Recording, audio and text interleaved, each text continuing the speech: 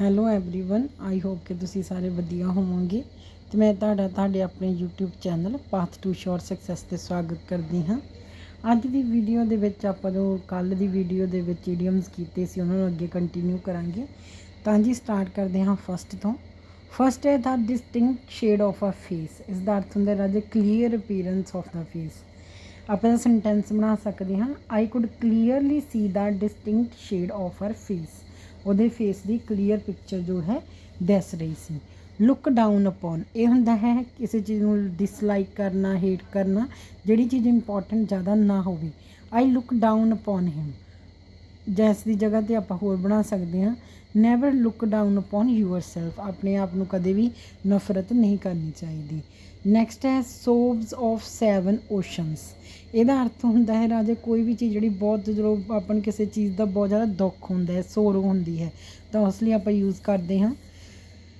there were sobs of seven oceans in his life ਉਹਦੀ life ਦੇ ਵਿੱਚ ਕੀ ਨੇ ਬਹੁਤ ਜ਼ਿਆਦਾ ਦੁੱਖ ਨੇ ਟੂ ਡਿਫਾਈ ਟੋਟਲ ਕੰਪਰੀਹੈਂਸ਼ਨ ਇਸ ਦਾ ਕੀ ਅਰਥ ਹੁੰਦਾ ਹੈ? ਕੋਈ ਵੀ ਚੀਜ਼ ਜਿਸ ਨੂੰ ਸਮਝਣਾ ਮੁਸ਼ਕਿਲ ਹੋਵੇ। ਇੰਪੋਸੀਬਲ ਟੂ ਅੰਡਰਸਟੈਂਡ ਆਪਾਂ ਕਹਿ ਸਕਦੇ ਹਾਂ ਦਾ ਫੈਕਟਸ ਵਰ ਸੋ ਕੰਪਲੈਕਸ ਜਿਹੜੇ ਫੈਕਟ ਉਹ ਇੰਨੇ ਕੰਪਲੈਕਸ ਨੇ, ਇੰਨੇ ਟਫ ਨੇ ਦੈਟ ਦੇ ਟੋਟਲੀ ਡਿਫਾਈਡ ਸਿੰਪਲ ਕੰਪਰੀਹੈਂਸ਼ਨ ਤੇ ਉਸ ਨੂੰ ਸਮਝਣਾ ਬਹੁਤ ਔਖਾ ਹੈ। ਇਸ ਤੋਂ ਬਿਨਾਂ ਆਪਾਂ ਇੱਕ ਹੋਰ ਸੈਂਟੈਂਸ ਬਣਾ ਸਕਦੇ ਹਾਂ the poet said that he like the Song that defied total comprehension next ਹੈ ਜੀ ਰਿਪੀਟਡ ਬਾਈ ਸਕੋਰਸ ਕੋਈ ਵੀ ਚੀਜ਼ ਜਿਹੜੀ ਕਿ ਬਹੁਤ ਸਾਰੇ ਲੋਕਾਂ ਨੇ ਗਾਈ ਹੋਵੇ ਰਿਸਾਈਟ ਕੀਤੀ ਹੋਵੇ popular songs are repeated by scores the affront of man echoing emptily ਇਸ ਦਾ ਅਰਥ ਹੁੰਦਾ ਹੈ, ਕਿਸੇ ਦੀ ਬਿਨਾਂ ਕਿਸੇ ਗੱਲ ਤੋਂ ਇਨਸਲਟ ਕਰ ਦੇਣੀ ਤਾਂ ਇਸ ਦੇ ਲਈ ਆਪਾਂ ਬਣਾ ਸਕਦੇ ਹਾਂ that situation is the worst ਉਹ ਸਿਚੁਏਸ਼ਨ ਬਹੁਤ ਬੁਰੀ ਹੁੰਦੀ ਹੈ ਵੇਅਰ ਦਾ ਆਫਰੰਟ ਆਫ ਮੈਨ ਇਕੁਇੰਗ ਐਮਪਟਲੀ ਜਿੱਥੇ ਬਿਨਾਂ ਕਿਸੇ ਗੱਲ ਤੋਂ ਕਿਸੇ ਦੀ ਜੋ ਹੈ ਇਨਸਲਟ ਕੀਤੀ। ਨੈਕਸਟ ਹੈ ਰਾਜੇ ਹੈਵੀ ਵਿਦ ਆਰਡਰਸ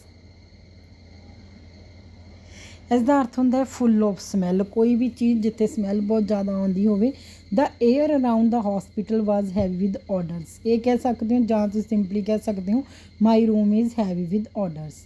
next ਹੈ ਕੰਜ਼ਿਊਮਡ ਬਾਈ ਫਲੇਮਸ ਇਸ ਦਾ ਅਰਥ ਹੁੰਦਾ ਕਿਸੇ ਚੀਜ਼ ਦਾ ਡਿਸਟਰੋਏ ਕਰਨਾ। In this building everything is consumed by flame ਸਾਰਾ ਕੁਝ ਡਿਸਟਰੋਏ ਹੋ ਗਿਆ। ਸਿੰਪਲ ਵੀ ਕਹਿ ਸਕਦੇ ਹੋ the hospital is consumed by flames the room is consumed by flames ਆਪਣੇ ਅਕੋਰਡਿੰਗ ਤੁਸੀਂ ਕੋਈ ਵੀ ਬਣਾ ਸਕਦੇ ਹੋ। ਨੈਕਸਟ ਹੈ part and parcel part and parcel phrase ਆਪਾਂ ਯੂਜ਼ ਕਰਦੇ ਹਾਂ। ਕੋਈ ਵੀ ਚੀਜ਼ ਜਿਹੜੀ ਬਹੁਤ ਜ਼ਿਆਦਾ ਇੰਪੋਰਟੈਂਟ ਹੋਵੇ ਨੈਸੈਸਰੀ ਹੋਵੇ। Stress was part and parcel of the job ਜੋ ਸਟ੍ਰੈਸ ਹੈ ਉਹ ਕਾਦੇ ਲਈ ਹਿੱਸਾ ਹਨ ਆਪਣੀ ਜੌਬ ਦਾ। ਨੈਕਸਟ ਹੈ ਐਕਟ ਆਫ ਨੋ ਕਨਸੀਕੁਐਂਸਸ ਇਹਦਾ ਅਰਥ ਹੁੰਦਾ ਹੈ, ਕੋਈ ਵੀ ਚੀਜ਼ ਜਿਹੜੀ ਆਪਾਂ ਕਰਦੇ ਹਾਂ, ਉਹਦਾ ਕੋਈ ਨਤੀਜਾ ਨਹੀਂ ਆਪਾਂ ਨੂੰ ਮਿਲਦਾ। Fighting without reason is a act of no consequences ਉਹਦਾ ਕੋਈ ਵੀ ਨਤੀਜਾ ਆਪਾਂ ਨੂੰ ਜੋ ਹੈ, ਨਹੀਂ ਮਿਲੇਗਾ। ਕੋਈ ਵੀ ਅਜਿਹਾ ਕੰਮ ਕਰਨਾ, ਜਿਸ ਤੋਂ ਆਪਾਂ ਨੂੰ ਕੁਛ ਨਾ ਮਿਲੇ। ਨੈਕਸਟ ਹੈ ਜੀ to strike a perfect balance ਕੋਈ ਵੀ ਚੀਜ਼ ਜਿੰਨਾ ਵਿਚਕਾਰ ਆਪਾਂ ਬੈਲੈਂਸ ਬਣਾ ਕੇ ਰੱਖਣਾ ਹੋਵੇ, ਦੋ ਚੀਜ਼ਾਂ ਦੇ ਵਿਚਕਾਰ ਜੋ ਆਪਾਂ ਬੈਲੈਂਸ ਬਣਾ ਕੇ ਰੱਖਦੇ ਹਾਂ, ਉਸ ਲਈ ਯੂਜ਼ ਕਰਦੇ ਹਾਂ। We have to strike a perfect balance between family and job family ਤੇ ਜੌਬ ਦੇ ਵਿੱਚ ਆਪਾਂ ਨੂੰ ਜੋ ਹੈ, ਜੋ ਵਧੀਆ ਬੈਲੈਂਸ ਬਣਾ ਕੇ ਰੱਖਣਾ ਚਾਹੀਦਾ ਹੈ। ਨੈਕਸਟ ਹੈ ਮਡੋਨਾ ਐਂਡ ਚਾਈਲਡ ਇਹ ਰਾਜ ਜੋ ਕ੍ਰਾਈਸਟ ਨਾਲ ਰਿਲੇਟਡ ਜੋ ਮਦਰ ਤੇ ਚਾਈਲਡ ਦੀ ਇੱਕ ਪੇਂਟਿੰਗ ਬਾਰੇ ਕਿਹਾ ਗਿਆ ਹੈ। ਸਿੰਪਲੀ ਬਣਾ ਸਕਦੇ ਹੋ this painting of Madonna and child is very beautiful ਜਾਂ I like this painting that is of Madonna and child ਤਾਂ ਇਹ ਸਨ ਰਾਜੇ ਨੈਕਸਟ ਜੋ ਆਪਣੇ 22 22 ਤੱਕ ਜੋ ਆਪਣੇ ਈਡੀਅਮਸ ਨੇ ਨੈਕਸਟ ਈਡੀਅਮਸ ਦੇ ਜੋ ਆਪਾਂ ਨੂੰ ਇੰਪੋਰਟੈਂਟ ਨੇ ਨੈਕਸਟ ਵੀਡੀਓ ਦੇ ਵਿੱਚ ਕਵਰ ਕਰਾਂਗੇ। ਉਦੋਂ ਤੱਕ ਤੁਸੀਂ ਇਸ ਵੀਡੀਓ ਨੂੰ ਧਿਆਨ ਦੇ ਨਾਲ ਦੇਖ ਲੈਣਾ ਹੈ। Thank you